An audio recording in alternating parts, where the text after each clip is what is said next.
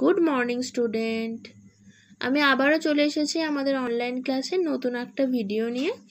এখন আমি তোমাদের পড়াবো এলকেজির বাংলা আনন্দপাঠ তো আগের দিনে তো আমি তোমাদের ছড়া করিয়েছিলাম। আজকে আমি তোমাদের একটা নতুন জিনিস শেখাবো।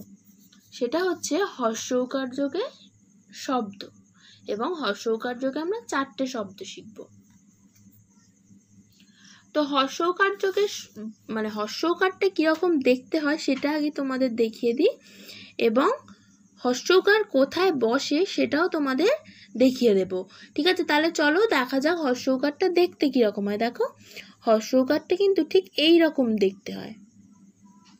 এই রকম দেখতে হয়। আমি তোমাদের আরও একবার এখানে দেখাচ্ছি।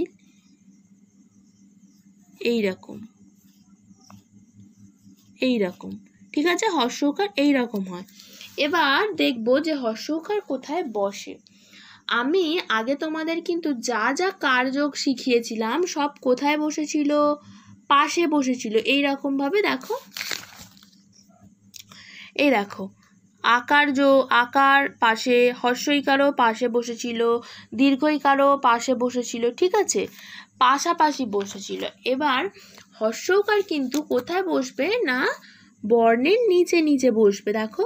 চয় হর্ষৌল চুল দন্তস্বয় হর্ষক হর্ষুক ঠিক এই রকমই কি হবে? না, নিচে নিচে কিন্তু হর্ষৌকার বসবে। তো তাহলে একটু আমরা পড়ে নিই, তারপর আমরা লিখব।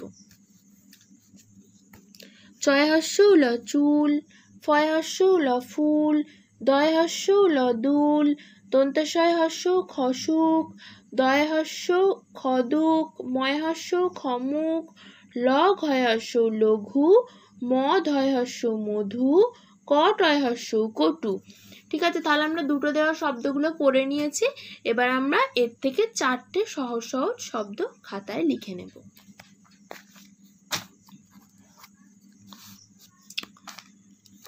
দেখো, লিখছি। খুব সহজ সহজ আমরা শব্দগুলো লিখব।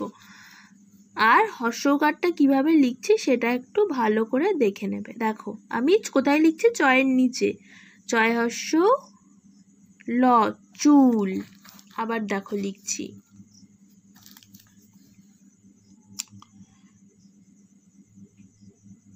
ফয় হর্ষ,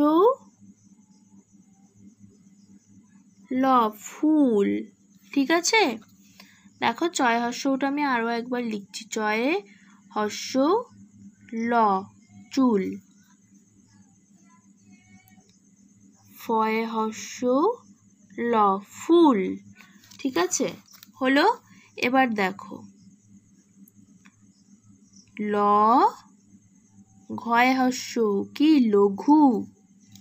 আচ্ছা ল, ঘয় হর্ষ লঘু। দেখো, হর্ষকারগুলো নিচে বসছে। তারপরে দেখো। ক, টয় কটু। ক, টয় হর্ষ কঠু, কটু, ঠিক আছে? তো তাহলে আমরা চারটে হর্ষ হর্ষকার যোগের শব্দ লিখলাম। চয় হর্ষ ল চুল, ফয় হর্ষ ল ফুল ল ঘয় হর্ষ লঘু ক, টয় হর্ষ কটু। এবার আরও একটা আমরা জিনিস করব, সেটা হচ্ছে বর্গীর্য দিয়ে শব্দ গঠন করব দুটো। ঠিক আছে? তো দেখো, আমি এখানে লিখে রেখেছি বর্গীর্য বয়াকার জবা এবং বর্গীর্য ল জল লেখার আগে একবার তোমাদের পড়িয়ে দেব।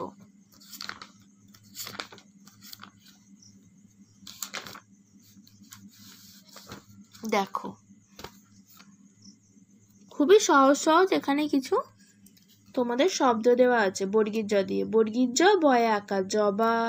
বর্গীর জ ল জল বর্গীর জয়ে আঁকা, ময়ে আঁকা, জামা। বর্গীর জয়ে আঁকা, হয় আঁকা বর্গীর জ জাহাজ। বর্গীর জয়ে আঁকা, দন্তে নয় আঁকা, লয় আঁকা, জানালা। খুবই সহজ সহজ পাঁচটা শব্দ দেওয়া আছে। তো হলো, তাহলে চলো এবার আমরা লিখে নিই।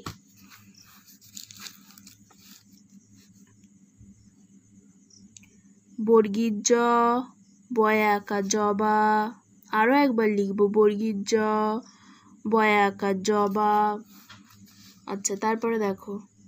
বর্গীর জ ল, জল।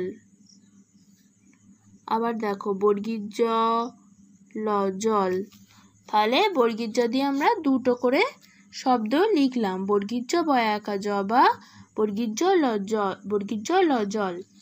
ঠিক আছে? তাহলে অত্যন্ত দুটো সহজ সহজ শব্দ লিখলাম এবং হস্যকার যোগ দিয়ে হস্যকার যোগে চারটে শব্দ শিখেছি। তাহলে আজকে তোমাদের এতটুকুই থাকল। নেক্সট দিন আবার নতুন কিছু করাবো। ঠিক আছে? এগুলোই বাড়িতে প্র্যাকটিস করো। Thank you